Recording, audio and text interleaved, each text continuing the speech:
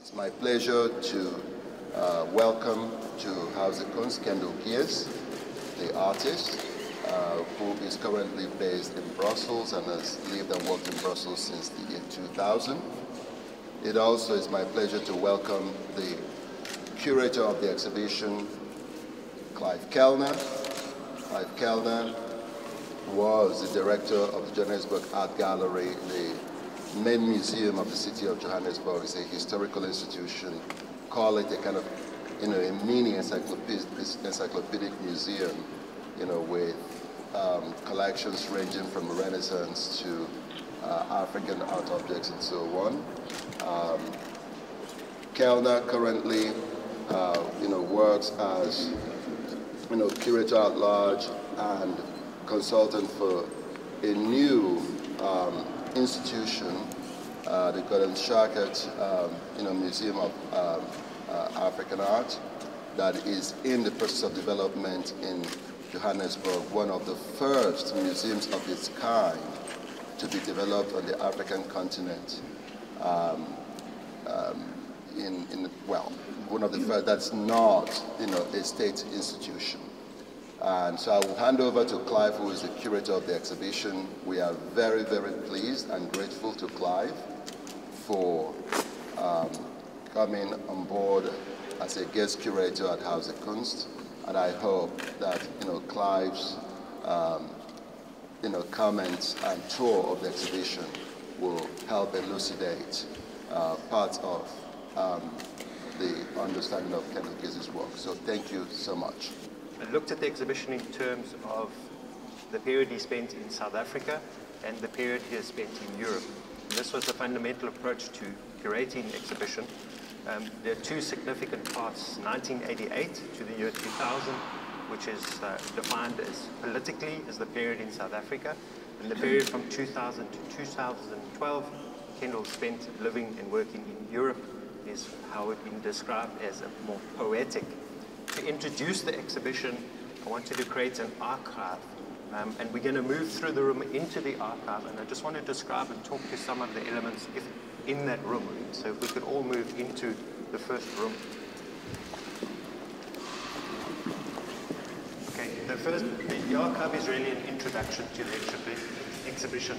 It starts to provide a framework um, for what you're going to see upstairs, which is three rooms. The first room around South Africa in the political period. The second is a major installation for post-pagan punk pop. And the third room is the European period, described as the poetic.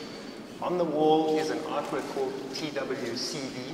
It is the artist's curriculum vitae, but it is also an artwork. Um, and the artwork, or the CV starts with the date 1652, which is the advent of Jan van Riebeeck arriving at the Cape Colony declaring it a Dutch colony. This is a fundamental point uh, of which the early political work in Kendell's identity and artist spurns off this date. It's an important historical moment. If you look at the CV, there are a number of historical events, um, philosophical um, writers, uh, intellectual moments uh, in it, and some of the personal issues and personal moments in Kendell's life. So working with this idea of the CV as a template, as a, a, backbone to the exhibition, there are three cabinets in the exhibition. The first cabinet is personal objects of Kendell Geers. There are objects in there which relate to his life and to his identity. And the fundamental question relates to the artist's persona, the artist's personality and identity, related to politics, related to how he, he sees the world and interprets and make objects that are socially and politically embedded. So the first is the personal, the second is the political cabinet that contextualizes some of the artworks upstairs related to political events in South Africa. And the third cabinet relates to literature, literary influences that have influenced the artist. So let me describe, because there are a lot of people, it's quite difficult to do each object. But in the first cabinet, there's the death certificate of Kendell's grandfather, Jacobus Hendrik Tourus Jacobus. Jacobus Hermanus Pieter Thank you. And um, if you link that, if you take that name, that's a Dutch origin name, in 1652, that is the advent of the Dutch arriving in South Africa. Yeah, with a series called Suburbia, a photographic series. that Kendell made. Actually, there are 80 images in the full series. We've selected to show 48, just given uh, space considerations. The work was shown at the Documenta that Okwui curated uh, several years ago, I think it was 2002. These images, uh, Kendell made a series looking at um, the security elements, the gates, the barbed wire, the security signage that you find on homes in Johannesburg suburbs. Okay? Kendell's going to talk to some of the work as well. I just want to point out a couple of key elements. Um, in some of the works over here, for example, we start to see the introduction of barbed wire. It's on the fences of the homes. You see barbed wire on the fence that's installed in the gallery. Behind you on the floor is the first early barbed wire work called flat wrap, and it moves into the larger fence installation, and then the, this, um, the fence gets aestheticized as it moves through into big installations like post-pagan punk pop. And on the CV, you'll see the dates 1890 and 1894 as the Anglo-Boer War in South Africa. And this is the first time the British forces made concentration camps The 65,000 Boer men, women, and children were killed in these camps using the barbed wire. Um, the second element within these is the signage, the security signs. And you'll see it on installation corner piece. Same security signs come into these elements in his work. Um, thank you all for your time. I'll try to keep it brief. Um, a lot of my work references multiple themes or multi, multiple quotations all at the same time. Uh, the work is sometimes deceptive by its simplicity, but don't get taken in by that. There's another level, and the more you search, the more you'll find.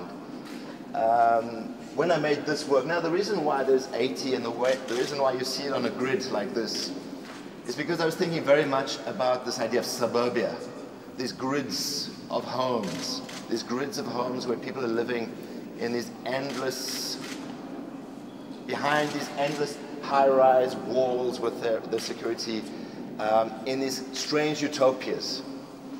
Um, and of course, with this work, I was thinking very much about the art historical reference of Dan Graham's Homes for America and what had changed, what made the South Africa that I was living in different than Dan Graham's 1970s.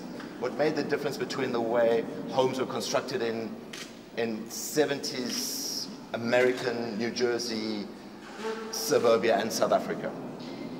Now, the interesting thing about the security signs is I started to realize at some point in time that security is not something that is really functional, it's more purely psychological. And I was interested in how we communicate this idea of security rather than the reality of security. Because in the South Africa I grew up in as a kid, we had these walls that you probably had all over the world, which was just glass on top of the wall. And it's something that I bring back in my work later on. That was a very rudimentary, very basic sign of security at one point in time that people needed to make, them, make themselves feel safe. As time changed and as the idea of danger changed, they needed to change the idea of security, changing the signs. So what you find here, for instance, in, in a house like this, you, see, you start to see the overlapping of signs, how one generation of security sign is replaced by another generation of security sign, because the concept of making yourself feel, the signs you needed to protect yourself changed. And what's fascinating is if you go to Johannesburg today, you'll probably see none of these signs. This work is more than 10 years old, and the sign of danger and the sign of security is completely shifted now into something else something quite, they use different images today. So a lot of the work is about this question of signs, symbols, language, and how the things we use to communicate ideas. So the fence indeed, um, now, one day I understood something very, very, very vital and important as a young artist, as a young man in South Africa and that is I was illegitimate. Indeed, I ran away from home at the age of 15, but I also understood the illegitimacy of an identity. I understood that I was born into a working class white Afrikaans South African family. And during apartheid and post apartheid, this was not something that I could acknowledge, depend upon. My family had been living in Africa for 300 years, but I had not yet become African. And for many people, for many of you, you'd look at me and say, but you're a white guy. How can you call yourself an African? Um, I am an African person. I'm an African artist. And it is this contradiction that I explore. But what is my cultural heritage? What is my identity? What are the values I believe in? What, is, what can I think about my ancestors? Nothing. I can take absolutely nothing from the world I was born into. So at some point in time, I had to reinvent myself. I had to search for an identity. So you see over there the work Bloody Hell. So it's a work from 1990 because of my political involvement in the anti-apartheid struggle, I had to leave South Africa in 1990 in order to not go to jail. But when Mandela was released, I was able to go back to South Africa. And the first thing I did is I removed the blood off my arm and I washed myself in my blood. So this was a ritual cleansing. It was a baptism. It was me giving birth to myself. It was also me trying to take away this white skin. It was me trying to understand what could I become? And of course, the more you wash, the dirtier you get. The more you try to clean yourself with your blood, the worse it gets. And in trying to understand this journey of what it is to be a white South African and reinvent myself, I started to look around me to try and find signs of what made up the world that I was living in. What constructed my identity? What were the things that I could take for granted if it wasn't my family? Or my heritage or my inheritance. And as Clive pointed out, I started to think about what makes South Africa different than another country. In the Second Boer War, between the English and the Boers, in the, in the, in the, in the late uh, 19th century, the English did something terrible. They used barbed wire as a weapon. This was the first time in the history of the planet that barbed wire was not used against cattle or horses, but used against humans. The British invented the concentration camp in South Africa. They started at the one side of South Africa and they burnt the entire country and put all the women and children into concentration camps. Many, many thousands died in these concentration camps. And eventually, the country was so decimated, they invented trench warfare there, they invented barbed wire there, they invented um, concentration camps there, and they invented the modern war there. Fast forwarding into the 70s, there was a company in South Africa called Cochrane Steel who invented something called razor mesh. It's sometimes called razor wire. It's called flat wrap. It has many different names depending on the, um, the, the, the, use or the, or the, whether it's flat or whether it's in a concertina or. This material was invented to service the military and the police of the apartheid system. Now you'll see downstairs a photograph I took just after a, a, a neo-Nazi right-wing bomb blast in downtown Johannesburg in 1994. And there you see how it was used. You have this truck, and you have this material behind the truck, and they hold the one side, and the truck drives down the road, and within seconds, you have a six-foot wall that's impenetrable. And what makes razor mesh different than barbed wire is that it attaches itself to you. It will attach itself to your skin, and it holds on to you. It's very difficult to get around. And very famously, many years ago, I said the difference between barbed wire and razor wire is barbed wire is for cattle, razor wire is for humans. This is what is used around the world today to create borders. Now, at some point, I was making so much work with this that the chairman of the company in Johannesburg called me up and wanted to meet me and wanted to know who are you and what are you doing with my material. And I went into his office and I saw the most incredible thing. His wall is behind him, wall to wall, floor to ceiling, were photographs from Time magazine. And he apologized. He said, I, you know, I only started my collection or my, of cuttings in the last year or two. I wish I'd started earlier. And on the wall, I saw every flashpoint in the world. Abu Ghraib prison, Guantanamo Bay, Palestine, Somalia. It was all there. This company is supplying the world with borders and is coming out of South Africa. So it's an indigenous, authentic African material that's extremely contradictory, like I am. Now, since I've been here, a lot of people say, but wait a minute, this is an African problem, we don't have that in Germany. If you look in the catalog, you'll see an image called Deployed, where you see me working with the German military with this material. In Germany, you call it NATO-Draht, NATO wire. It exists here. But it doesn't exist around your homes like it does in Johannesburg. It exists around your borders. It exists around train stations. It exists around airports. You just have to open your eyes and see it. It's everywhere. So now, this question of borders, barriers, boundaries is very central to a lot of my work. And it's this question about the inside and the outside. And borders can be used to exclude people as much as it can be used to exclude ideas. And one of the things I tried to do as an artist, I had a, an exhibition in, in, in, in Cologne many years ago called Grenzgänger, border, the, the border runner. Um, and that's very much where a lot of my work situates itself, is on the border between two states of being, between two states of mind, between two identities, being African and European, being white but still African.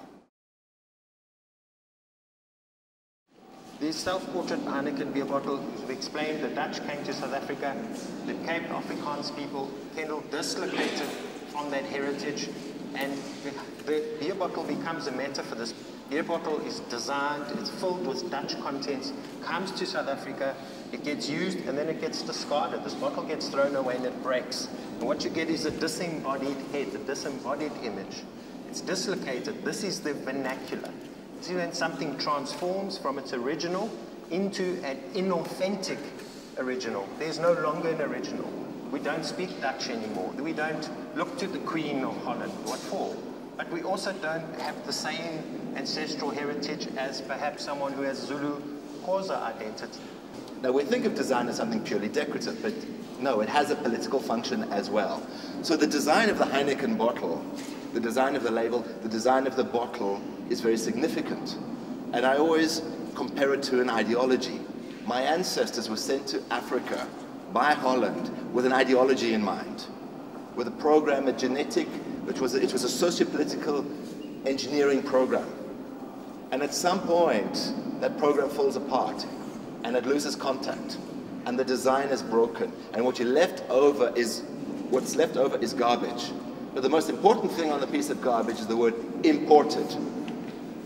That's what it's that idea of an inferiority complex that we drink Heineken beer because it's imported makes it more special. But it's not. It's broken. It's decapitated. It's discontinued. You know, I love to say when I go to Holland, I'm your Frankenstein coming back to haunt you. so this is a very good example of a lost object. And also remember at the time, as a young militant, I was also using these bricks to throw them at the police.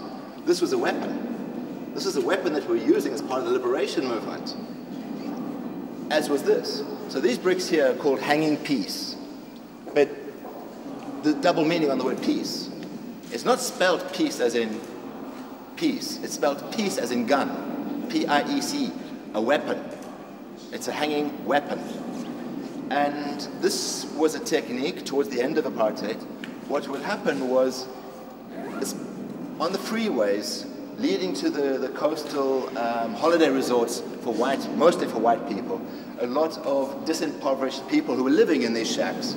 They would take a rock or a brick or some heavy object and suspend it from the bridge over the freeway.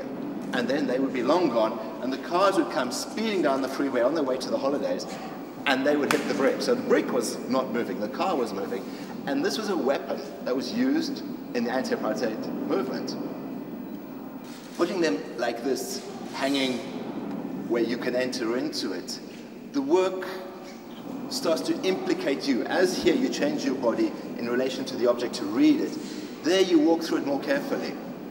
And what it does is it implicates you in a greater community because you can walk through there very quickly and very fast and set the bricks in motion without putting, any, without putting yourself in any kind of risk or danger. But what you do is you put the danger to the person behind you. The risk is the person behind you because they're going to get hurt by the brick coming back. And that becomes a very beautiful metaphor for life for me today. The harder you push the brick, you can move away, it's going to come back. And even though I made this work in 1993, very much in the time of apartheid and politics, for me this becomes a metaphor for closer to what I'm doing in the last room for today. The lifestyles we're living, the lifestyles of excess and luxury, the, the, the consequence of um, the planet melting down because we all want to have good lives. And the consequence of those good lives in the third world, the, you'll see on my CV, Antarctica is melting, icebergs are falling off the North Pole and the South Pole, tsunamis, earthquakes, the consequence of global warming, which is our ancestors pushing the bricks too hard.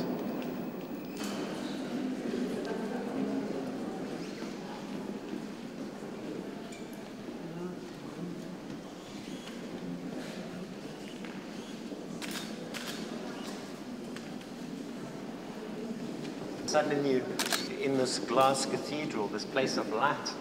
It's absolutely beautiful. And suddenly you breathe and maybe the weight kind of gets lifted as you move through this space. But you still find the things embedded in it. It's beautiful, it repels, but it attracts at the same time. The barbed wire is still dangerous, but it's aestheticized, it's changed. It's not as raw, it's not a found object, it's a transformed lost object. But it has beauty, what the mirror and glass does in this room.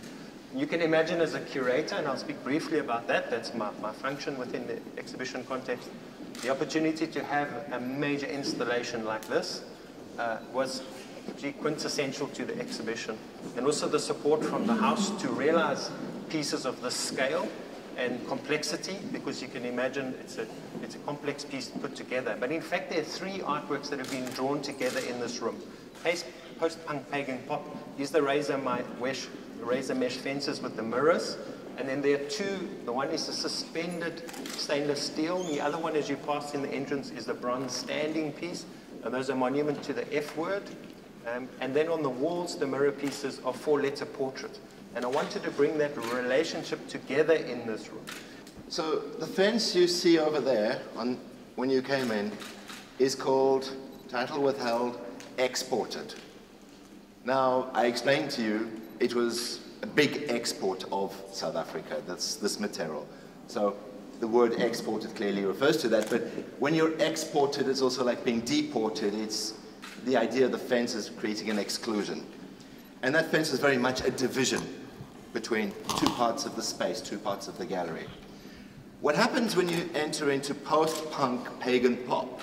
You can already tell the change of title signifies a very big shift in the way I'm thinking. And the most important thing that you'll notice is once you enter in here, you see yourself. You're not exported or excluded. You're implicated. You're part of this. We're all part of it. Because even if one chooses not to see, you can choose not to look down or see yourself, but it's there. And as you go through the labyrinth, you make choices to go left or to go right. Occasionally, you'll end up in a dead end and you have to go back again. But more importantly, these are physical choices which have an, an effect on where you end up. But more importantly, you have a psychological, spiritual choice as well, which is what the mirror is. The mirror becomes a metaphor. It becomes a symbol for the choices about entering into another world, a world of spirit. The mirror was a way of entering into the world of the ancestors, the world of the spirits, the world of the gods, the angels, the demons. This is the other world of things we believe in. At the entrance it said, what do you believe in? The world that we believe in. In Europe in the former century, the mirror pretty much had the same function. You know, Lewis Carroll's Through the Looking Glass, it was this world of the imagination that we would enter into. Or you would have the, the, the, the spiritualist people who would speak to um, people who had died through mirrors, or speak to ghosts through mirrors. Today, in the West, in Europe, United States, and all the developed countries, the mirror is no longer a symbol of spirit. It's a symbol of flesh. It's a symbol of the body, of materialism. And it's a symbol of self-hatred. Because we wake up in the morning and we look in the mirror. It's more or less the first thing we do. And what do we do when we look in the mirror? We hate what we see. we don't like the way we smell. We don't like the way we smell. We put on deodorant. We put on perfume. We brush our teeth. We change the color of our hair because maybe there's one or two hairs that don't look correct. We use shampoo, we use conditioner, we use soap. We take rid of the, we get rid of the wrinkles, we get rid of the blemishes, we get rid of the, we get rid of everything that makes you human. We get rid of everything that makes you an individual. We get rid of everything that makes you special in order to try to all look the same. By buying the products that advertising is proposing, that we put on ourselves in order to try and be the same so that those companies can get rich off our vanity by taking advantage of some people in the third world manufacturing those things en masse. And the other thing about the, the pendulum is that it has another F word inside, which is an F word that you will see a lot around the exhibition. And that's the word fuck. Now, you will know immediately I'm not using this word in a pejorative way, in a negative way, because I put it on my own face. It's on the big banner outside the museum, it's on the invitation. I've taken this word and I've painted myself in it. So it's obviously a word that I have respect for. I have respect for it. Why? I have respect because it's one of the last magic words. It's one of the last, I'm from the brick all the way through, language has preoccupied me. Um, fuck is important because it still will get a reaction. If you use this word, it's still forbidden on American television, it's still forbidden on official English television. You still cannot say it on MTV, and most important, it's still not a perfume. That's how you know it's powerful. But like a lot of my work, there's attraction and repulsion is important, the creative and the destructive. The missile going up and the missile coming down, this contradiction, this, because fuck can be positive or negative. If I say fuck you, that's a declaration of war. That's going to get you very angry. You're going to have a reaction. If I say fuck me, that's an invitation. That's something beautiful. That's how we make babies. That's how we were all born. That's how we come into the world. Now, of course, it's a four-letter word. And that's how you know it's a working class word. The reason why people get angry is because it's also, fuck is not the same as intercourse or copulation or making love. No, that's what educated people say because they're afraid of the earth. They're afraid of the roots. Fuck is a word of the street and it's a word of the earth to say the same thing. And that's why I use it. So, And you will probably spend a long time trying to search for the, the letters. If you look, I mean, people never see the word. So I'll give you a, a clue. so one of the things I do, as you're standing on the mirror, the alchemists would say, as above, so below. Nietzsche said, when you fight, when you look into the abyss, the abyss looks into you. He said, when you fight a monster, be careful and become a monster. So this, this idea of the double is, uh, you see it all over my work. So what I do is I take the word fuck and I fold it together four times. So the Fraktur lettering downstairs that will have Hitler rolling in his grave says fuck in the forbidden typeface.